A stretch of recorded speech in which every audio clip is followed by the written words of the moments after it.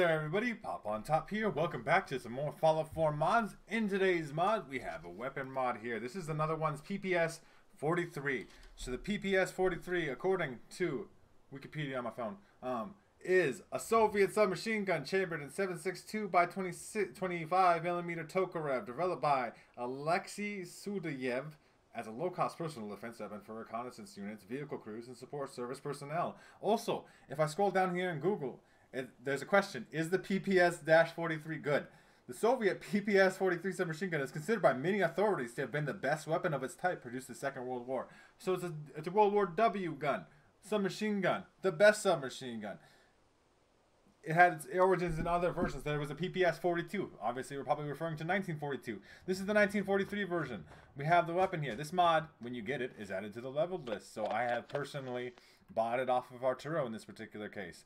Um, very black model here. Very much, you could tell it's Soviet origins because it looks like the Papasha or the uh, PPSH. Is that it's like like different the the this is the PPS. I don't know if that's any different, right? The but like so this is a submachine gun, the best submachine gun, .38 ammo, because obviously we don't have 7.62 by 25 millimeter ammunition, Tokarev ammunition in Fallout 4. I mean, they could have added it, but sometimes people don't like that anyway as it is. We have a, just kind of the basic weapon here. Um, the model here is not like the most advanced looking textures in the world, and you can kind of tell that when you're looking at it. The difference between this and like the Papasha PPSH, obviously we have unique reload animations and stuff here. It's quite a long reload, but it looks nice. Um, is that this one doesn't fire as fast. Like the PPSH is, is notorious for its like 900 crazy rate, you know, rapid rounds per minute rate of fire. This one has more of a 500 600, so it's more of a chunkier fire rate. And you can kind of tell that the mod author has applied that here in this game. Nice chunky rate of fire. So, obviously there's there's a guaranteed spawn of this weapon or something in, in Walden Drugs and Concord, so we're going to head there eventually. But I already got one, so let's take a look at what we can do customize customization-wise with this weapon. So, rapid automatic receiver, we can make it semi-auto, powerful automatic receiver, but you can do, what would, isn't it, like advanced receiver? No advanced receiver, huh? Like, cause that's what would normally be the best. Is this, no, I guess they're all automatic, right? Calibrated power, is that a semi-auto receiver? I just really gotta check, cause like, I, I don't know my receiver name sometimes.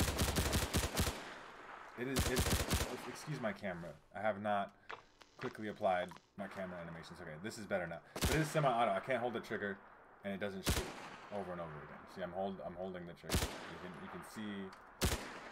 It's, it's a semi-auto. This is a semi-auto version. I would not use a submachine gun semi-auto just to be personal about it. It's nice to see that the, the, animations do work in the third person though. We could just get that a little quick test here real quick.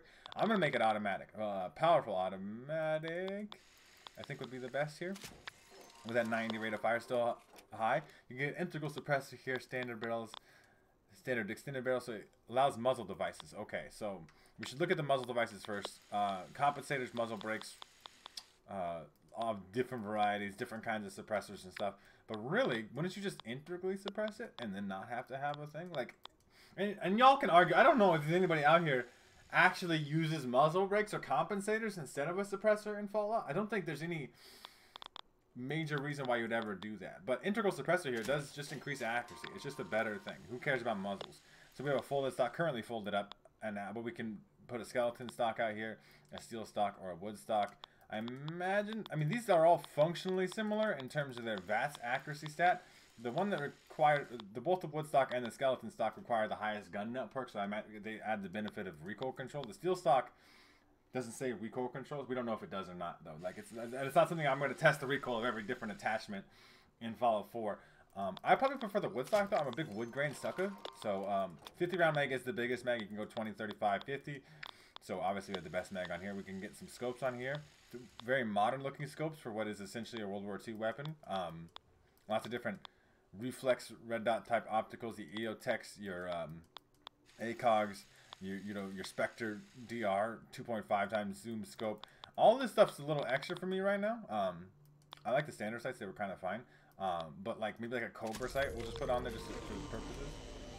Uh, I leveled up. Okay, I guess we could put glow sights on. Um, I didn't realize that, that was a separate thing. And then obviously you have damage modifiers here. Is the damage modifiers necessary? I, well, I guess we'll find out. We're not going to put one on right away, but at, at 40 damage of 0.3 ammo, it's still doing better than the base game submachine gun, I would imagine. So, um, we have a Cobra sight here. Integrally suppressed actually sounds really nice, too. I think that's a big benefit, because a lot of suppressed weapons don't sound good. This is, I think it's got its own unique suppressed sound. It, just, it, it definitely sounds unique to any vanilla weapon in the game. I do want to kind of see the glow sights though. Uh, the Cobra sight is fine. Obviously, scopes are all personal preference. There's a lot of options here. You'll be able to find the scope that you want with this gun with the amount of variety they have here. That's the point because of all the modern, neat looking sights. But if I just use standard sights here, I just want to see the glow sights. They look like they glowed red, which is kind of interesting. That's an interesting color choice. Most glow sights are green. But I could definitely aim like this. There's no recoil on this gun. I mean, like, this is the tiniest bit. But, like, not where you'd be concerned about it because you're never going to I think shoot 50 rounds in a row. It'd be more like that. It'd Like max 10 round bursts like that before something fucking dies. We'll see, I guess. So we're gonna test it out in some combat.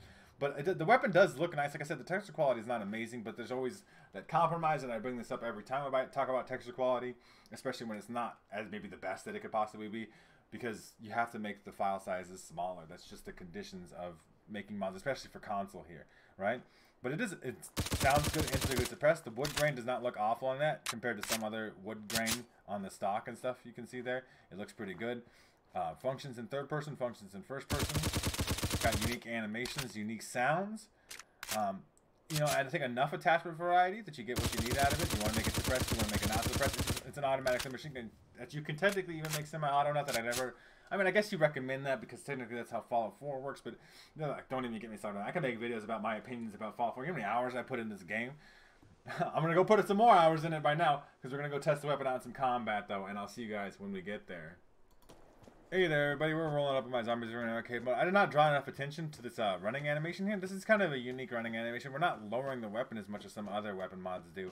Um, obviously, the weapon can be lowered here, too, as well, uh, if you have some functionality like that. But this is like it very much bobs in front of you, right? Like, almost like always ready to shoot. It's not that far off from hip firing it, which is, you know, essentially the whole reason submachine guns exist is that you can just kind of fire from the hip. Let's jump into my Zombies Arena arcade mode here, though, and shoot some fucking stuff in its fucking face. Um, I guess, right? Like, that's essentially what we're here for. Um, we're going to try to, if I remember right, I got to remind myself here. Um, let's spawn in some Raiders. Why not? I mean, that guy just got absolutely meltified, right? Like, he's just dead. It did not take very many bullets. Obviously, my Raiders here are not that tough. Time's up, bitch. Are you kidding me right now? I'm mentally suppressed and they still know where I'm at. It's unfortunate. Um, but we're trying some VATS shots. I mean, that's decent enough VATS accuracy at close range. You can put a longer range scope on it, and that will increase the accuracy stat, which increases the accuracy in VATS if you really want to go nuts. But obviously, we're one bursting Raiders in the head. Not that Raiders are the toughest enemy type you can run into here. Um, but it is the deal. I don't need to reload as much as I am, just showing it off. You need the goddamn fire support. You just need the goddamn die. I like broke my camera angles with third person. This person's on my level according to the... So they gotta be in there? They are in there, huh? And they're just dead. Like, that was it. Anybody else left here? No, that was it. So obviously, it's not like the craziest submachine gun in the whole world or anything. It's not like the most advanced, featureful weapon I've ever seen, but it does just feel good. It, the fire rate feels nice, especially at fully automatic, nice and chunky, right? The reload animation is unique and custom.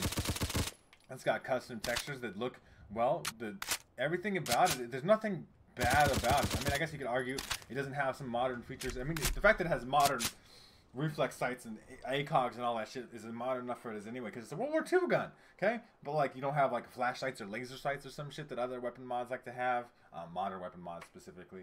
Um, but it really just it just feels good in the hand, I guess. Low, very low recoil, nice integrally suppressed sound. I mean, the reload is long, I guess. Maybe a little too long. I do have the quick hands perk on too, so this is as fast as it gets. But that's the cost, I believe, probably of having the 50 round mag. I, I haven't tested this, but I imagine smaller magazines might reload a little bit faster. And if they don't, then 50 rounds becomes the easy decision. Anyway, the PPS 43 is a good submachine gun. Like just like the Google said in the beginning of the thing when people ask Google, is is the PPS 43 good? It is good. That is my that's Pop on Top's official opinion of the weapon. So, if you guys want to check out this mod for yourselves, make sure to check out the top link in the description. There'll be a link there to the Bethesda.net page and the Nexus mod page, so you can download this mod for yourselves there. If you guys have enjoyed the video, like the video, that's the deal. If you guys are new to my channel, make sure to subscribe so that way you can check out more videos from me.